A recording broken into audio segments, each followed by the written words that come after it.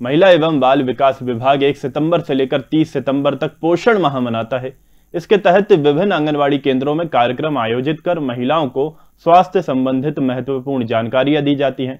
इसी कड़ी में डोईवाला में भी कार्यक्रम आयोजित किया गया।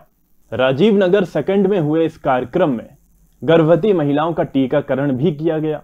इसमें क्षेत्र की सैकड़ों महिलाओं ने अपनी भागीदारी दी। महिलाओं को बेटी बचाओ, बेटी पढ़ाओ के साथ ही साथ साफ़ सफ़ाई गर्भवती महिलाओं की देखभाल इत्यादि विषयों में जानकारी दी गई। आंगनवाड़ी कार्यकर्ता सीमा देवी ने कहा कि महिला एवं बाल विकास की तरफ़ से 1 सितंबर से लेकर 30 सितंबर तक पोषण माह मनाया जाता है। पूरे माह में अलग अलग गतिविधियाँ इसमें कराई जाती हैं।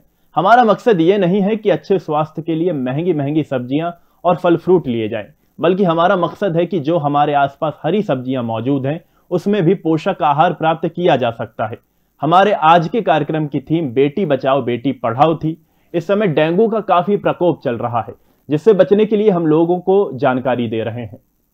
ये जो है ना, हमारे यहाँ बाल विकास की तरफ़ से एक सितंबर से लेकर और तीस इकतीस सितंबर तक पूरा जो है पोषण माह के रूप में मनाया जाता है।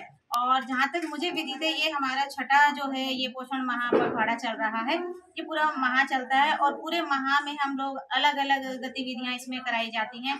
जिसमें कि सभी तरह का जो है बच्चों को पूरा पोषक आहार, स्तनपान संबंधी, पोषक आहार संबंधी, स्वास्थ्य से के संबंधी और अन्य जो है सभी जो जानकारियाँ हैं वो दी जाती है। Rabindranath Tagore university, Bhopal. Only private university in MP to be NIRF rank for five consecutive years जहाँ है 600 से ज़्यादा company types for placements Atal incubation centre for nurturing startups industry academia collaboration for exposure of real industry world. 20 centers of excellence for research. साथ ही global festival विश्व रंग में शामिल होने का अवसर देता है Rabindranath Tagore university unlocking potential